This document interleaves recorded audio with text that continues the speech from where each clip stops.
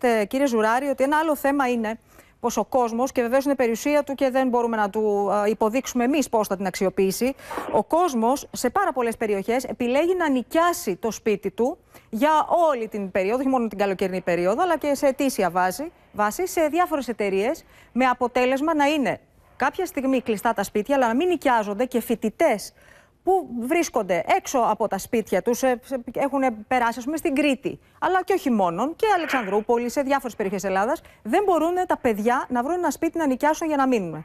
Έχουμε κάνει ένα σχετικό ρεπορτάζ και θα ήθελα να έχετε λίγο χρόνο να το παρακολουθήσετε. Ένα ρεπορτάζ στην Κρήτη κάναμε για αυτό το θέμα. Ναι, Παρακαλώ και, πολύ. Και Κρήτη είναι ακριβή, και ειδικά στι περιοχέ αυτέ.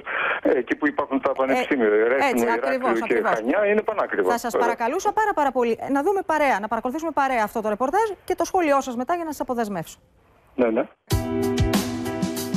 Ούτε για δείγμα δεν υπάρχουν διαμερίσματα στα Χανιά Κρήτης, αλλά και σε άλλες φοιτητουπόλεις του νησιού για τους πρωτοετής φοιτητές που αναζητούν διακαώς ένα χώρο για να στήσουν το σπιτικό τους και να ξεκινήσουν τη νέα τους ζωή. Όπως καταγγέλει η Ενωτική Πρωτοβουλία Φοιτητών του Πολυτεχνείου Κρήτης, η κατάσταση με τα σπίτια έχει φτάσει στο προχώρητο, ειδικά αυτές τις ημέρες που φτάνουν στα Χανιά περίπου 1070 φοιτητές, εκ των οποίων 700 στο Πολυτεχνείο Κρήτης, έχοντας ξεκινήσει ήδη το ψάξιμο για διαμονή και δεν βρίσκουν τίποτα. Είμαι πρωτοετή στην Κρήτη, στο Πολυτεχνείο. Βρήκα σπίτι αρκετά δύσκολα και έψαχνα κοντά ένα μήνα.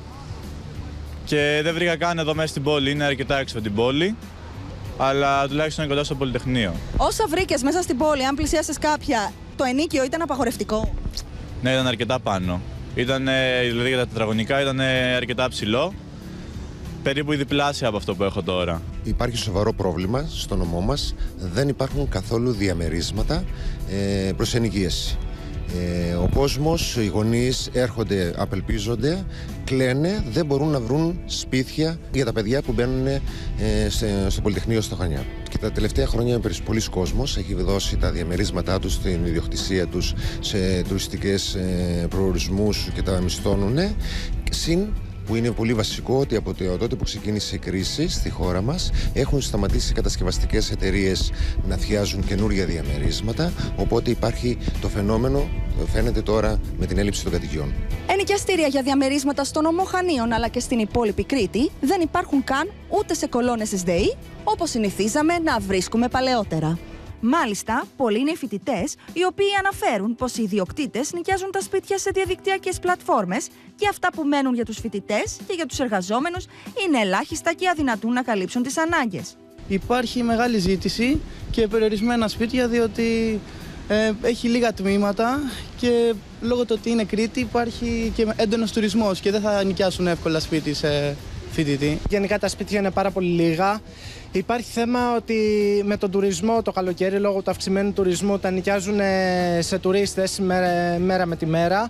Ε, οπότε, ε, λόγω ότι έχουν περισσότερα έσοδα το καλοκαίρι από τουρίστες, οπότε προτιμούν να τα νοικιάζουν εκεί μέχρι τέλη, ε, μέσα αρχές Οκτώβρη. Χαρακτηριστικό παράδειγμα η περίπτωση της φοιτήτριας, που αναγκάστηκε να εγκαταλείψει ευνίδια το σπίτι της, καθώς ο ιδιοκτήτης της ανακοίνωσε ότι πρέπει να αποχωρήσει άμεσα από το διαμέρισμα επειδή θέλει να τον νοικιάσει σε τουρίστες. Λοιπόν, είναι ένα θέμα αυτό, κύριε Ζουράρη. Και βέβαια, τι απάντηση, τι να πεις. Και θα πούμε στον άλλον, μην νοικιάσεις το σπίτι σου, περίμενε να έρθουν οι φοιτητές το Σεπτέμβριο. Στα Χανιά, επειδή τυχαίνει να γνωρίζω τον ε, επίσκοπο Κιδωνίας Χανίων, να απευθυνθούν στην ε, Μητρόπολη Χανίων, γιατί ξέρω, εγώ είχα μείνει πριν από 20 χρόνια με τον νυν Αρχιεπίσκοπο, όταν, όταν ο Αρχιεπίσκοπος ήταν τότε Κρήτης, ήταν ε, Χανίων και έμεινα και έγραψα ένα σύγγραμμα μάλιστα εκεί στο ε, Επισκοπείο. Ξέρω ότι υπάρχουν και δωμάτια δυνατότητες, δηλαδή σε μικρή έκταση. Επίσης να απευθυνθούν στην ηγουμένη του μοναστηρίου της, ε, της ε, ε, ξεχνάω, θα το θυμηθώ.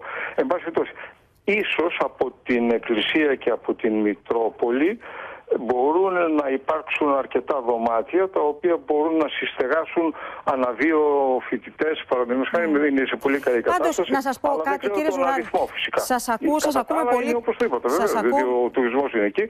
Αρχίζει το διαδίκτυο πια νοικιάζουν οι ιδιώτες ανά δύο ημέρες ή ανά τρεις ημέρες και επομένως, ειδικά στην Κρήτη, η τουριστική περίοδος πάει μέχρι τον Νοέμβριο τουλάχιστον και επομένως είναι πραγματικό πρόβλημα. Γι' αυτό πρέπει οπωσδήποτε, αν υπάρξει μεγάλης εντάσσεως τέτοιο αδιέξοδο, πρέπει να παρέμβει πάλι και κεντρικά το κράτος, ώστε Ακριβώς. ή να νοικιάσει μικρά ξενοδοχεία περιφερειακά ή να, αν υπάρχουν στρατόπεδα να, να ανοίξει τα στρατόπεδα σε φοιτητές προσωρινώς.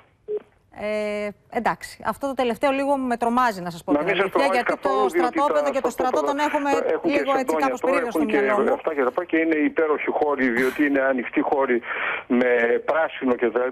Είναι δηλαδή ουσιαστικά